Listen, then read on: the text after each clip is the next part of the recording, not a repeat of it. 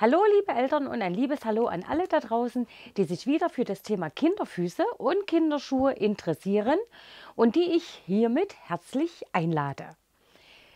Worum geht es also heute? Ihr seht es, wir haben es wieder mal mit Schuhen zu tun, allerdings diesmal nicht mit den Schuhen an sich, sondern mit dem, was drinne steckt, nämlich unseren Füßen. Und der eine oder andere mag ja dieses Gefühl oder diese Gerüche manchmal schon zu erriechen, wenn man irgendwo eine Wohnung betritt, sei es die eigene oder bei Bekannten, bei Freunden, wie auch immer.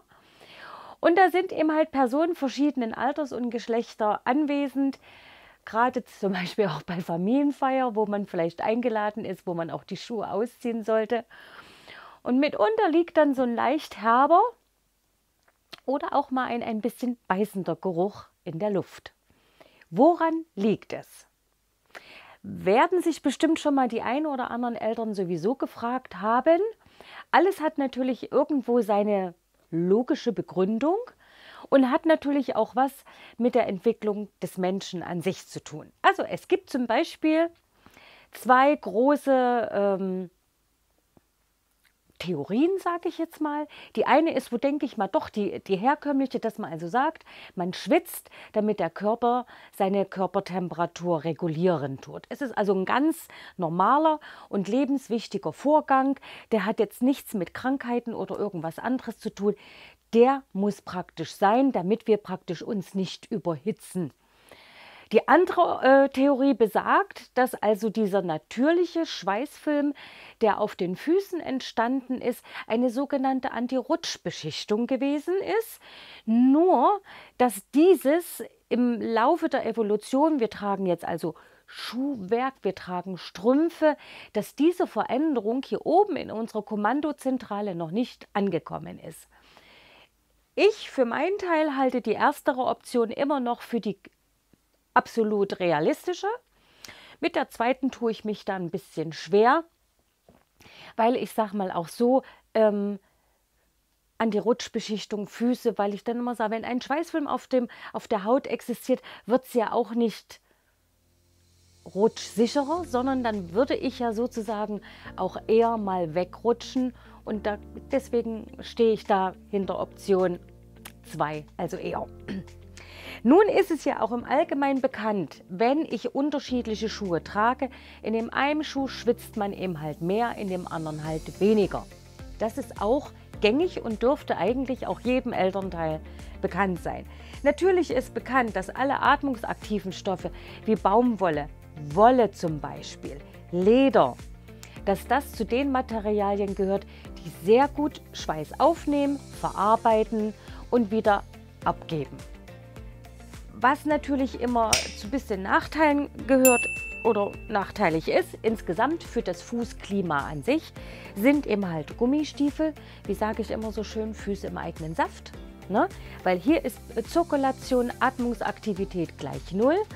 Deswegen empfehlen wir auch prinzipiell bitte dort atmungsaktive Socken anzuziehen und Gummistiefel bitte nicht barfuß zu tragen. Ich denke mal, das hat einzig allein schon was mit der Hygiene zu tun. Hintergrund ist natürlich dessen, ich kann ja Gummistiefel nicht auswaschen.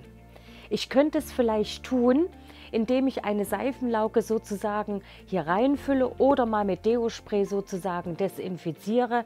Aber generell würde hier sozusagen der Restschweiß samt den ganzen Bakterien würde also hier drinnen verbleiben. Ist also keine unbedingt hygienische Angelegenheit. Deswegen bitte immer mit Socken anziehen und den Temperaturen entsprechend auch mal aufpimpen.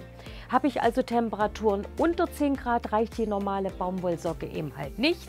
Dann bitte mal noch eine Wollsocke mit reinziehen und damit sind wir auch schon wieder beim nächsten Punkt, nämlich der passenden Wahl der Strümpfe. Hinzu kommt natürlich, dass jeder gerne auch mal sparen möchte und natürlich auch gerne ähm, Socken kauft, die jetzt nicht unbedingt den besten Standard haben, weil sie einfach zu viel synthetische Fasern enthalten. Hier gebe ich immer folgenden Tipp. Schaut bitte nach, dass ihr Baumwollsocken bekommt, die wirklich mindestens 75, aber wenn es geht, bitte 80 Prozent Baumwollanteil tragen oder verarbeitet haben. Am besten sind natürlich in meinem Fall, sage ich immer wieder, Wollsocken, dünne Merino-Wolle wegen der Feinfädlichkeit ist zum Beispiel super gut. Alpaka-Socken sind super toll und natürlich nicht zu vergessen aus Bambusviskose, die gleichzeitig noch mit die Gerüche wegnehmen. Ist also super toll. Es gibt viele Alternativen, aber ich muss natürlich sagen, die kosten halt ein bisschen was. Aber wer das also möchte, wer wirklich daran interessiert ist, oh mein Kind, ich muss dreimal am Tag mindestens die Socken wechseln, dann sollte man das also überprüfen. Socken wechseln, Schuhe wechseln.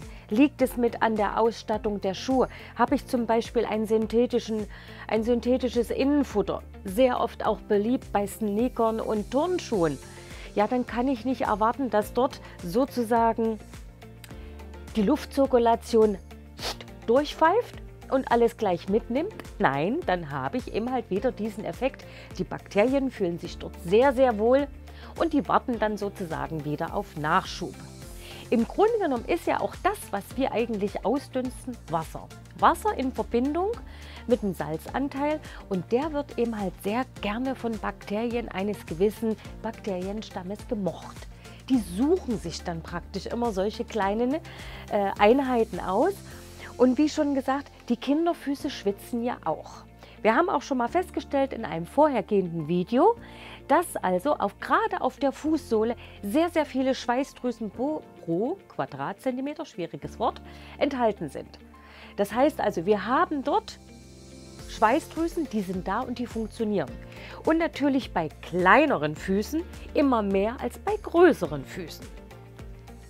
Das heißt, man sieht es auch dann teilweise an den Innensohlen. Ich zeige es jetzt mal. Also ein normal trockener Fuß würde wahrscheinlich, der Frosch kommt wieder, würde zum Beispiel also hier einen relativ leichten Eindruck hinterlassen oder Aufdruck hinterlassen. Je feuchter die Füße werden, desto dunkler werden sie. Und damit bin ich wieder beim nächsten Punkt. Bitte wechselt bei stark schwitzenden Füßen öfters die Einlegesohle. Gestaltet sich insbesondere bei Barfußschuhen manchmal ein bisschen schwierig. Gebe ich aber immer gerne den Tipp, kauft einfach eine ganz normale Ledersohle, die ein bisschen kaschiert ist. Größer natürlich muss man kaufen, weil die Barfußschuhe ja ganz anders konzipiert sind vom Auftritt her, hinten in der Ferse und natürlich auch durch die breitere Zehenbox. Kauft einfach wertige Ledersohlen, die manchmal gar nicht so viel kosten wie ein neues Paar Schuhe, sage ich jetzt mal, und tauscht an alte, aufgebrauchte Innensohlen wieder aus. Simpel und einfach wird aber nicht sehr oft praktiziert. Das nächste, was ich immer wieder mit dazu sagen kann, ist natürlich Schuhdeo. Desinfizierende Zerstäuber, die man jetzt also verwenden kann. Es gibt Deo-Sticks für die Schuhe, die man dort also über Nacht oder über den Abend zum Beispiel hineintun kann, die also dann wieder schlechte Gerüche aufnehmen und der Schuh wieder einigermaßen frisch riecht. Dann gibt es natürlich noch auch so diverse Mittelchen, zum Beispiel Fußbäder mit Natron, mit Lavendelöl, mit Camphor, Lotions mit Camphor. Also es gibt eine verschiedene Bandbreite. Natürlich muss das jeder für sich selber immer ausmachen was ist jetzt gut für mein Kind. Aber zum Beispiel, ich sage mal, so eine leichte Fußlotion mit äh, Menthol, die zum Beispiel auch mit kühlt, gerade im Sommer, denke ich mal, sind auch für Kinderfüße gar nicht mal so verkehrt. Kühlendes Fußbad zum Beispiel, auch super toll. Ja? Und natürlich auch so ein altes Hausmittel, Backpulver. Backpulver in den Schuh gestreut und einwirken lassen, sorgt dafür, dass der Schuh wieder schön auf natürliche Art und Weise desodoriert und frisch riecht. Weil Backpulver hat ja, man kennt es als altes Hausmittel, die Eigenschaft, schlechte Gerüche aufzunehmen wie so ein Magnet. Die andere Option ist natürlich, Schuhe auch zu tragen, so wie sie die Temperaturen hergeben. Also wenn wir es gerade mal 12, 14 oder 16 Grad haben, bitte keine Winterstiefel tragen. Das verstehe ich nicht unter dem angepassten Schuh für die jeweilige Temperatur, weil wenn ich einen zu warmen Schuh trage, das ist wie bei den Klamotten auch, bei der Bekleidung, ziehe ich mein Kind warm, zu warm an. Und die kleinen Mäusels sind ja aktiv ohne Ende. Dann schwitzen sie sich den Wolf. Und so ist das natürlich auch an den Füßen. Also achtet auf eine standardgemäße Fußbekleidung. Natürlich, wenn es die Temperaturen zulassen, lasst Luft an die Schuhe, an die Füße.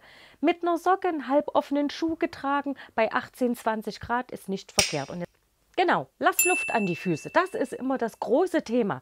Tragt geschlossene Schuhe nicht zu lange und nicht bei zu warmen Temperaturen. Ist ab einer gewissen Altersgruppe schon mal ein bisschen schwierig, weil der Teenie findet es eben halt super toll, alle zwölf Monate des Jahres mit ein und derselben Schuhform oder dem ein und denselben Schuhtyp zu verbringen. Das sind eben halt die Dinge, die tun sich dann ein bisschen schwerer begreiflich zu machen. Aber im Allgemeinen, ich meine, solange wie sie es dann selber dann merken, kann man ja das Kind dahin ein bisschen lenken. Alles andere, Pflegemittel und so weiter und so fort, hatte ich jetzt schon mit angesprochen. Natürlich, wenn das dann irgendwann mal eine Dimension annimmt, wo man sagt, jetzt weiß ich wirklich nicht mehr weiter, hilft dann nur noch der Gang zum Hautarzt. Aber so weit wollen wir es ja nicht kommen lassen. Tipps und Hinweise gab es ja von meiner Seite aus jetzt genug, die wir dann gerne auch noch mal vielleicht am Ende ein bisschen zusammenfassen, Punkt für Punkt. Und demzufolge hoffe ich doch, euch wieder weitergeholfen zu haben. Und denke mal, vielleicht kommt ja auch noch mal die eine oder andere Frage von euch, die ihr gerne an mich herantragen könnt. Und dann werden wir sehen, was unsere Kommentarspalte dazu hergibt. Bis zum nächsten Mal. Ich würde mich freuen und dann sehen wir uns wieder beim nächsten spannenden Thema.